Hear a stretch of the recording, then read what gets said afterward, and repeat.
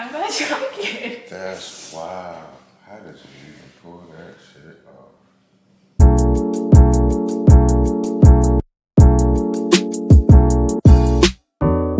Hi you guys, welcome back or welcome to my channel if you're new here. Today's video is gonna be on DIY-ish jersey framing.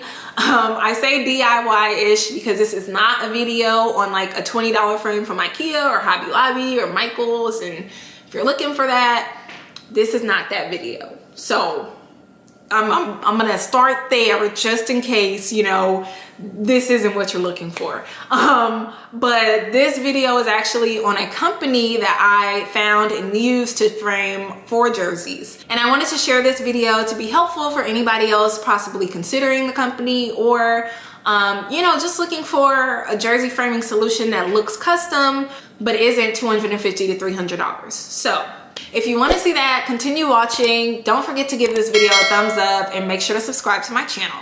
A little bit of a background before we get started. Um, this was my husband's birthday gift and although the video is definitely centered around showing you guys the frames, I'm actually going to include a little snippet of me giving him this gift to be honest, I am super proud I was even able to pull this off and he was really, really surprised. My husband's a big basketball fan and he comes from an athletic family of five boys. They all played sports growing up. Their mom was a PE teacher. His younger brother is an NBA player. Like, ball is life, okay? So since we've been dating, right? We're not dating now, but since we started dating, you know, I've always heard him say this thing about how he wants to get framed jerseys, right?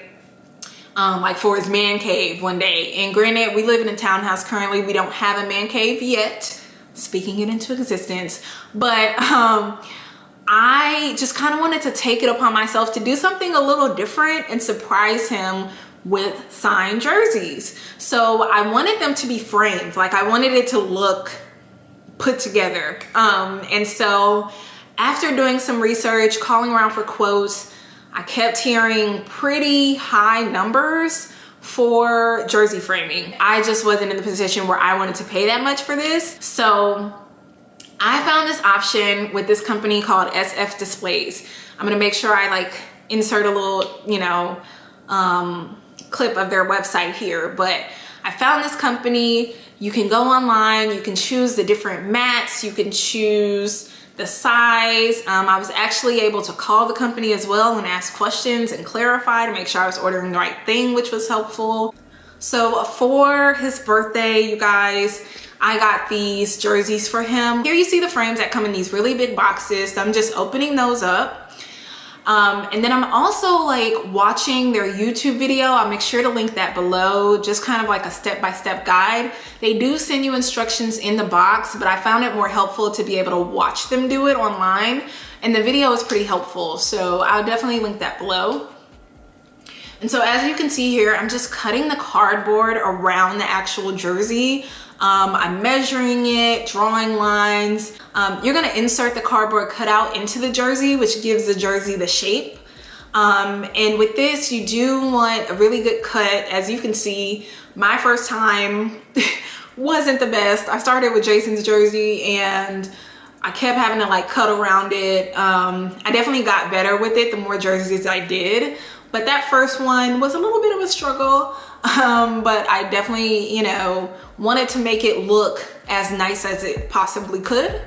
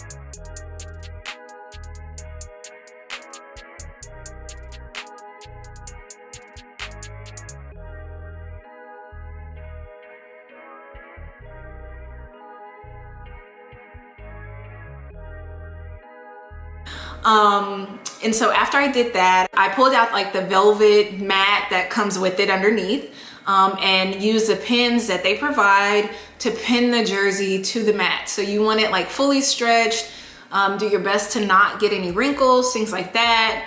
Um, and so I'm just doing that here.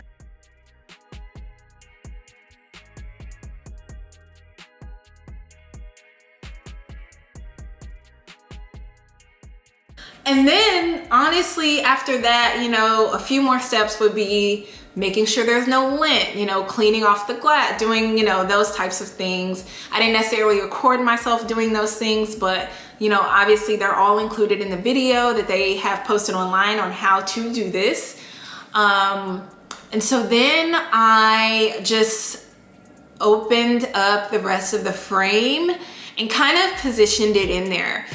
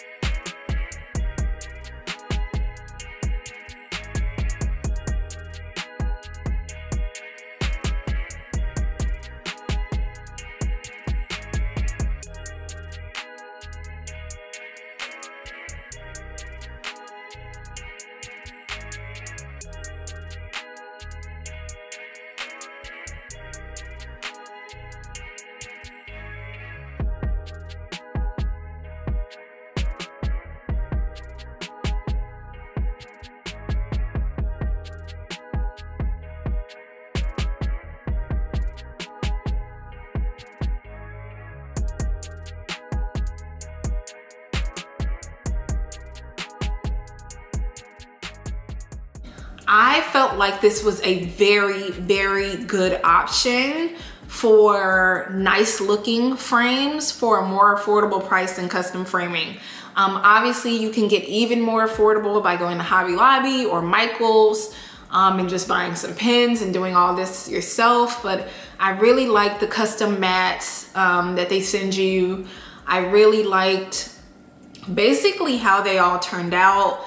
Um, in this, you know, first video, I actually didn't get the um, frame yet for Dame's jersey, but I did eventually get it and I have all four of them framed now.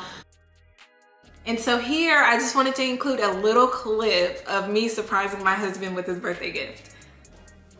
Happy birthday!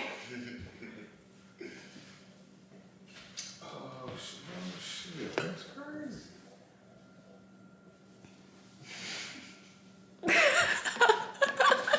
Are you surprised? Ah, that's crazy. Crazy. Damn, I appreciate that.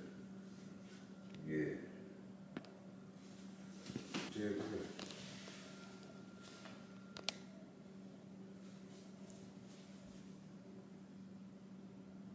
In the silent are you. Oh, that's crazy. Damn. That's love. Do you like it? Love. Oh my gosh. That's crazy. That's great. You did great. I'm glad you like it. That's wow. How did you even pull that shit off? So I hope this video was helpful for you guys. Please let me know if you have any questions or comments. Um, I love doing videos like this because I always think, you know, just like I went to go looking for this information, maybe this will help somebody else make a decision. So don't forget to subscribe to my channel and thanks so much for watching.